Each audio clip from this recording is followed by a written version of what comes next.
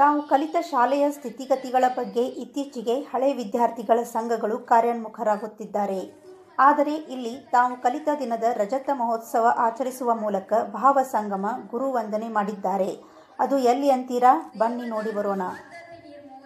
ಹುಕ್ಕೇರಿ ತಾಲೂಕಿನ ನಿಡುಸೋಸಿ ಗ್ರಾಮದ S J D ಶಿಕ್ಷಣ ಸಂಸ್ಥೆಯಲ್ಲಿ ಹತ್ತೊಂಬತ್ತು ನೂರ ತೊಂಬತ್ತ್ಮೂರರ ಸಾಲಿನಲ್ಲಿ ಸಿ ಮುಗಿಸಿದ ವಿದ್ಯಾರ್ಥಿಗಳು ಇಂದು ತಾವು ಕಲಿತ ಶಾಲೆಯಲ್ಲಿ ಶೃಂಗಾರಗೊಳಿಸಿ ಭಾವಸಂಗಮ ಗುರುವಂದನೆ ಮಾಡಿ ಇಪ್ಪತ್ತೈದರ ರಜತ ಮಹೋತ್ಸವ ಆಚರಿಸಿದರು. ನಿಡಸೋಶಿ ಸಿದ್ಧ ಸಂಸ್ಥಾನ ಮಠದ ಜಗದ್ಗುರು ಪಂಚಮ ಶಿವಲಿಂಗೇಶ್ವರ ಮಹಾಸ್ವಾಮಿಗಳ ದಿವ್ಯ ಸಾನ್ನಿಧ್ಯದಲ್ಲಿ ಸಂಘದ ಅಧ್ಯಕ್ಷ ವಿನಯ್ ಪಾಟೀಲ್ ದೀಪ ಬೆಳಗಿಸುವ ಮೂಲಕ ಕಾರ್ಯಕ್ರಮಕ್ಕೆ ಚಾಲನೆ ನೀಡಿದರು.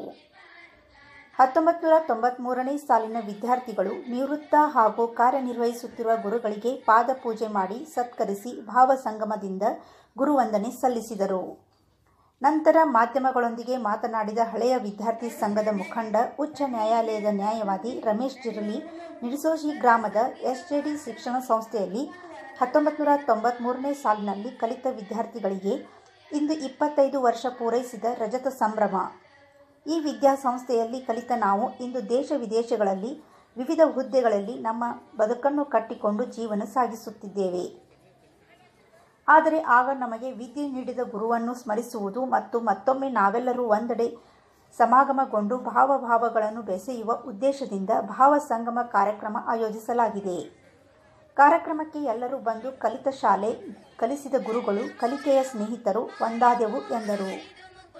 ಈ ಸಂದರ್ಭದಲ್ಲಿ ಸುನೀಲ್ ಗಲ್ಗಲಿ, ಸಂಜಯ್ ಸವಕರೆ, ಭೀಮಣ್ಣ ಕಡಲಗಿ, ಸತಪ್ಪ ಅಮ್ಮಿನಭಾವಿ, ಸುರೇಶ್ ಮಠದ್ ಎಸ್ಜೆಡಿ ಸಂಘದ ಉಪಾಧ್ಯಕ್ಷ ಎನ್ಆರ್ ಪಾಟೀಲ್, ಆಡಳಿತ ಮಂಡಳಿ ಸದಸ್ಯರು ಹಾಗೂ ಹತ್ತೊಂಬತ್ತು ನೂರ ಸಾಲಿನ ಹಳೆಯ ವಿದ್ಯಾರ್ಥಿಗಳು ಹೆಚ್ಚಿನ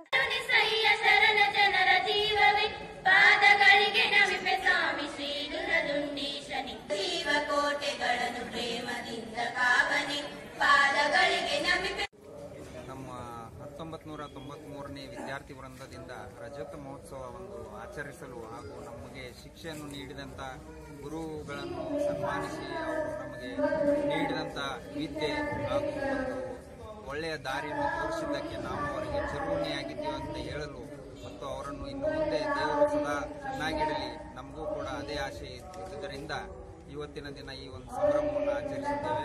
ಅದಕ್ಕೆ ಎಲ್ಲ ನಮ್ಮ ವಿದ್ಯಾರ್ಥಿ ಹಳೆಯ ವಿದ್ಯಾರ್ಥಿಗಳು ಬಂದು ಅವರು ತಮ್ಮ ಸಹಕರಿಸಿ ಎಲ್ಲ ಒಂದು ಕಾರ್ಯಕ್ರಮವನ್ನು ಯಶಸ್ಸುಗೊಳಿಸಲು ನಮಗೆ ಸಹಕರಿಸಿದ್ದಕ್ಕೆ ನಾವು ಧನ್ಯವಾದಗಳನ್ನು ಹೇಳ್ತೇವೆ